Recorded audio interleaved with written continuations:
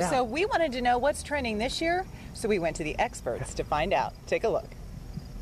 In any Husker fan's closet, Husker shirts, Husker hats, shorts, pants, and sweatshirts. They want the bones. You know, throw the bones. So, what's hot this season? Well, we went to find out at the Nebraska Authentic store across from the stadium.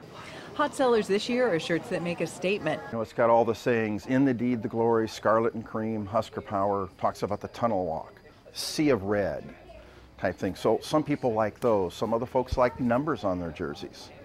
Others, they just like a simple shirt says Go Big Red or a simple N on it. Some looks are inspired. So a lot of the stuff that they wear on the sidelines is a lot of what they like to come in and get. Take, for instance, the lid inspired by wide receiver Kenny Bell. The lid. Yes, this was seen on the sideline during the spring game. But for me, well, I'm traditional. What do you think, guys? Is it me? And if you need something for the office, there's also the classic polos and even dress shirts. Kind of dress you up if a little bit if you still want to go wearing your Husker. It's got the simple in, it's not blaring by any means, but it's a very comfortable type shirt. There's plenty of stuff too for the kids. You won't have any trouble dressing them up for game day.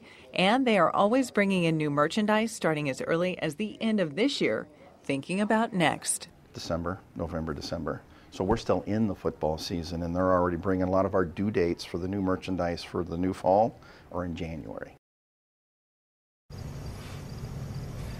All right. Well, now we know, and you know, I'm sorry, but I